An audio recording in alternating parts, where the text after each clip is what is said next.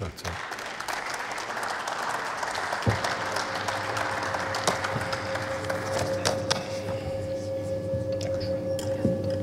Werter Herr Präsident, werte Kolleginnen und Kollegen, Herr Minister, liebe Bürgerinnen und Bürger!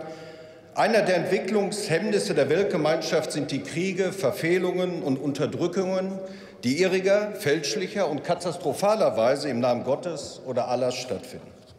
Inklusive der Themen wie Zwangsbeschneidung, Frühverheiratung und Unterdrückung der Mädchen und Frauen.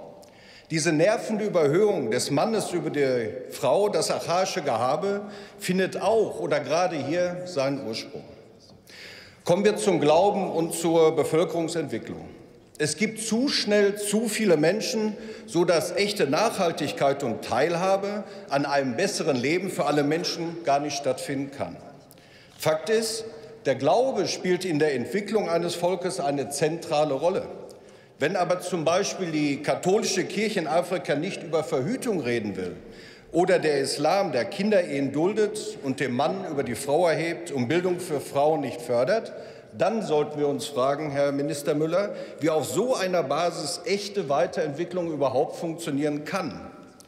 Kommen wir zur Verantwortung. Eigenverantwortlichkeit der Menschen, dann der Staat und dann die Gemeinschaft der Völker. Das System haben wir mittlerweile komplett auf den Kopf gestellt.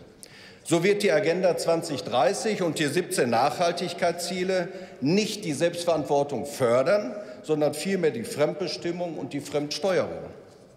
Dazu kommen Themen, die die Welt belasten. Kunststoffmüll, Umweltzerstörung und Ressourcenwahn. Ihre Antworten, Ihre Konzepte, Fehlanzeige. Und dabei könnten wir gerade hier mit unserem Know-how als Bundesrepublik Deutschland wirklich punkten. Eine Riesenchance für unsere Wirtschaft.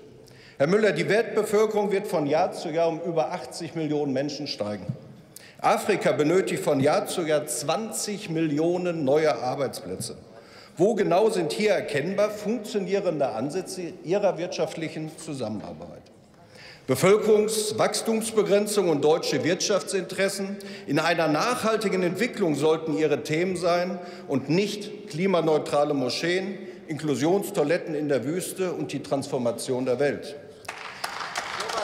Sie reden von grünen Knöpfen, damit die indische Näherin, das waren Ihre Worte, ihr selbstgenähtes Kleid im Internetportal selbst verkaufen kann damit wir es dann im Flugzeug für kleines Geld nach Deutschland, natürlich CO2-neutral in Ihrem globalen Dorf, kaufen können oder Sie liefern können.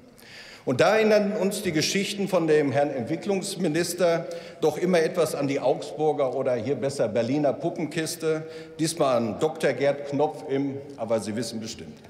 Was fehlt, ist die Realität zu machbaren und die Erkenntnis, dass ein künstliches System ein anderes künstliches System zurzeit nährt.